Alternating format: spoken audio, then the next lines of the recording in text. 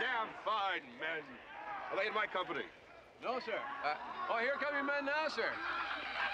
oh, Jesus!